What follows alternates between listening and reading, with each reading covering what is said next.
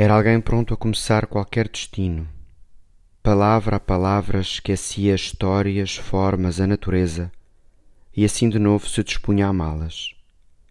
A inocência da flecha que propaga nos bosques o desconhecido, um corpo face ao extenso perigo, só tenho medo se ficar por aqui demasiado perto. A glória, sabes, é uma dor que por vezes a doçura esconde.